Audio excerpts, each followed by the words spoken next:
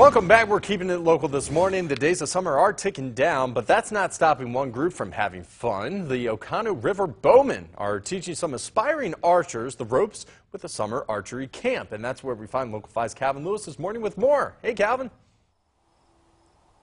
Yeah, Nate, good morning. We've been having a lot of fun here this morning, learning about archery and all the skills involved. And just like you said, the Oconto River Bowmen are hosting a summer youth camp here for the next uh, four weeks. They're in their second week now.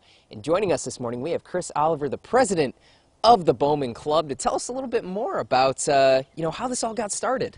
Yeah, so we just got a group of members who uh, started doing this for the kids, you know, trying to teach the kids the fundamentals of archery and the safety of it as well.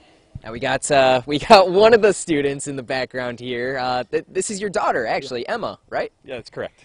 Yeah. So tell us a little bit about uh, you know some of the uh, targets, I guess, that uh, some of the kids will be will be facing or or challenging. so, so, the kids, uh, you know, they love coming out here having fun. So we set up a series of balloons for them to pop, anything from the zombie targets to some 3D targets to some big targets for them to shoot at. I gotta say, she is a good shot. She has just nailed two of those balloons just now, or three actually. Yeah, three on there. Nice. Uh, you know, talking a little bit about some of the skills that, that you guys are teaching here and the students are learning, how beneficial is it for them to be to be learning these skills at, at such an early age? And there's four now.